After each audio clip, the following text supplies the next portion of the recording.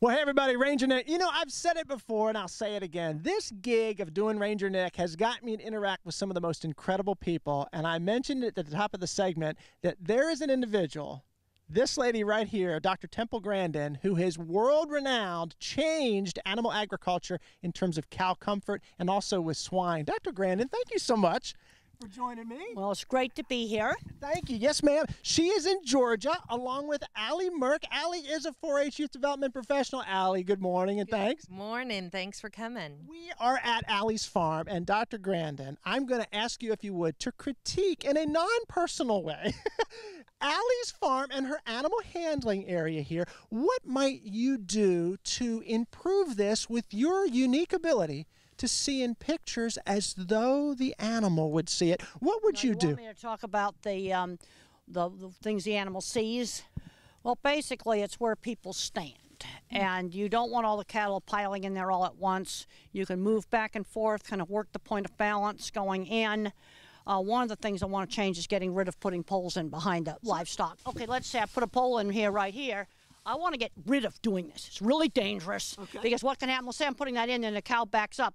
Where's this pole go? Yeah. All right. Enemy, yeah. Yeah, or it flies up and hits you in the in the head. Okay. And now there's a lot of good sliding gates that are now available, and I want to eliminate poles behind cattle. There's just been way too many accidents. People get injured. Cattle also get injured. And what about when an animal comes into an area like this, coming into the chute, and they're by themselves? Do you have a problem with that, or should they be in a group?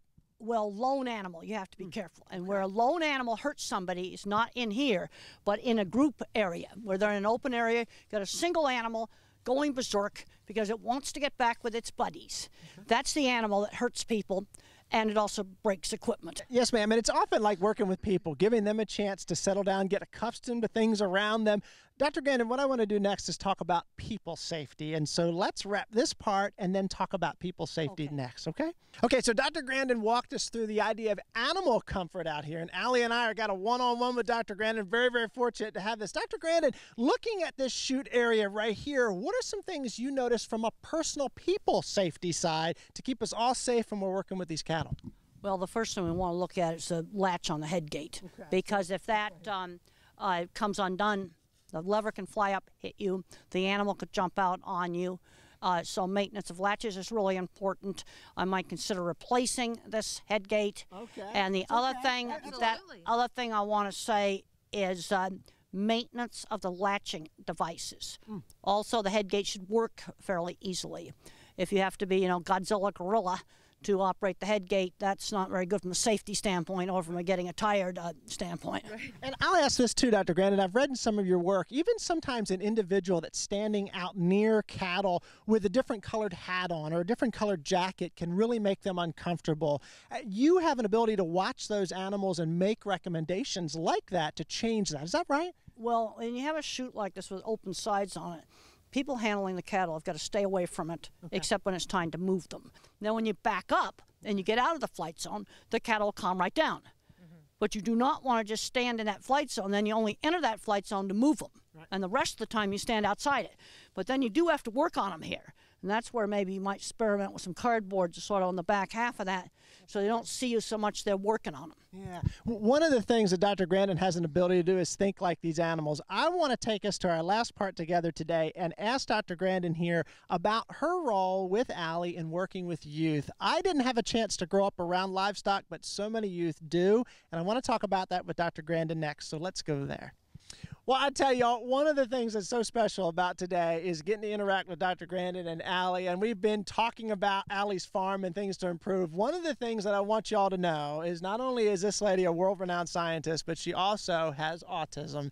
And Ray D'Alessio, one of our producers and anchors on the show, has a son with a mild case of autism. And, and Dr. Grandin, I mentioned that because you have a special ability to see things in pictures and to see things the way no one else does. And you have enabled your skill set to change agriculture worldwide. That is an incredible feat. You got started with agriculture as a child, and I want you to tell the folks at home what would you encourage youth to do that have these different abilities like you do in terms of getting them where they want to go? What would your advice be? First of all, we got to get them off the video games, get them off the devices, and 4-H and FFA are great uh, venues for doing this.